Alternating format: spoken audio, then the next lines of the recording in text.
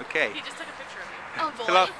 Look at him. Hello, this is Bill Sonnhalter. I have Kaylee here picking her 03 uh, Honda Element up. And why did you pick this Honda Element? Um, because it was the right color and it was really clean and I liked it a lot. All right. Well, you enjoy it, okay? Okay, thank right. you. Bye.